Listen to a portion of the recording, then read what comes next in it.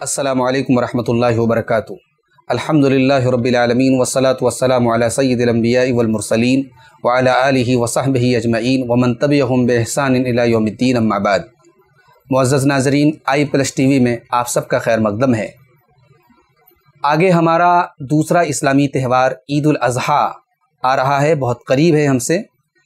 تو عید الاضحیٰ پر قربانی کے تعلق سے بہت سارے مسائل، بہت سارے سوالات لوگوں کے بیچ میں، لوگوں کے ذہن میں گردش کرتے رہتے ہیں، لوگ پوچھتے بھی رہتے ہیں، اس میں ایک بڑا عام اور جنرل اور کامن سا سوال ہے کہ رات میں قربانی کرنا کیسا ہے؟ کیا ہم رات میں قربانی کر سکتے ہیں؟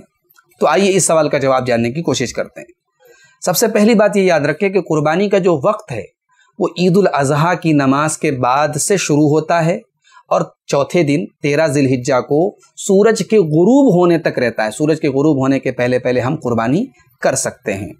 یعنی اس کا اول وقت بھی میں نے آپ کو بتا دیا، آخری وقت بھی آپ کو بتا دیا۔ لیکن یاد رکھیں کہ افضل یہ ہے، بہتر یہ ہے کہ آدمی عید کی نماز کے بعد ذبح کرنے میں جلدی کرے۔ آئیے اس کی دلیل دیکھتے ہیں مسند احمد کی two two four seven five. بائیس ہزار چار سو پچہتر نمبر کی حدیث ہے۔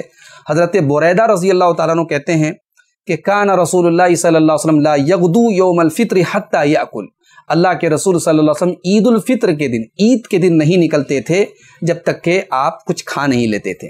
ولا یاکل یوم الاضحیٰ اور عید الاضحیٰ کے دن، جس کو ہم اپنی زبان میں بقرعید کہتے ہیں، اس کے دن نہیں کچھ کھاتے تھے، حتیٰ یرجیا یہاں تک کہ آپ لوٹ کر کے آتے تھے۔ فَيَأْكُلُ مِنْ أَزْهِيَتِهِ اپنی قربانی کے گوشت آپ کھاتے تھے۔ تو اس سے معلوم ہوا کہ قربانی کرنے میں عید کی نماز کے بعد جلدی کرنی چاہیے، کیونکہ آدمی اللہ کے رسول کی سنت ہے کہ اسی کھانے سے آدمی کھانے کی شروعات کرے۔ رات میں قربانی کرنے کے تعلق سے ایک روایت ہے جو الموجم القبیر لطبرانی میں ہے۔ اس کے الفاظ یہ ہیں کہ انہو صلی اللہ علیہ وسلم نہا ان ذبح لیلن۔ اللہ کے نبی صلی اللہ علیہ وسلم نے قربانی رات میں کرنے سے منع کیا ہے۔ مگر یاد رکھیں کہ یہ روایت صحیح نہیں ہے، سخت ضعیف ہے۔ اس کے اندر ایک راوی ہیں سلیمان بن سلمہ الخبائری، جو کہ محدثین کے یہاں متروک راوی ہیں، لہٰذا یہ روایت قابل قبول نہیں ہے۔ تو صحیح بات یہ ہے کہ جیسے ہم دن میں قربانی کرتے ہیں، رات میں بھی کر سکتے ہیں۔ بہتر تو یہ ہے کہ ہم دن میں کریں، لیکن اگر کسی وجہ سے دن میں نہیں کر پائے، کوئی ایسا معاملہ آ گیا تو رات میں بھی کر سکتے ہیں، کوئی حرج کی بات نہیں ہے۔ اسی لیے شیخ ابن وسمین اپنی کتاب احکام الاضحیہ جس کے اندر انہوں نے قربانی کے مسائل بیان کے اس کے اندر کہتے ہیں وہ یجوز و ضب الاضحیہ فی الوقتی لیلن و نہارن قربانی کا جو وقت ہے، اس کے اندر رات اور دن میں کبھی بھی قربانی کرنا جائز ہے۔ وہ ضب فی نہاری اولا لیکن دن میں قربانی کرنا زیادہ بہتر ہے۔ وہ یوم العید بعد الخطبتین افضل اور عید کے دن جو خطبہ ہوتا ہے، عید کا خطبے کے بعد، عید کی نماز کے بعد قربانی کر لینا، یہ افضل ہے۔ وہ کل یوم افضل مما یلی ہی اور ہر دن اپنے بعد والے دن سے افضل ہے۔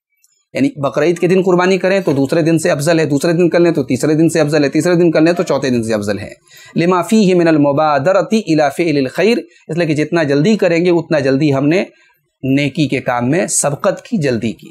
تو واضح ہو گیا کہ قربانی رات میں کرنے میں کوئی حرج کی بات نہیں ہے۔ اللہ سے دعا ہے، رب العالمین ہم سب کو اپنے نبی صلی اللہ علیہ وسلم کے طریقے پر قربانی کرنے کی توفیق عطا فرمائے اور اللہ تعالی ہم سب کی قربانی کو قبول فرمائے، آمین۔ وآخر دعوانا الحمد لله رب العالمين.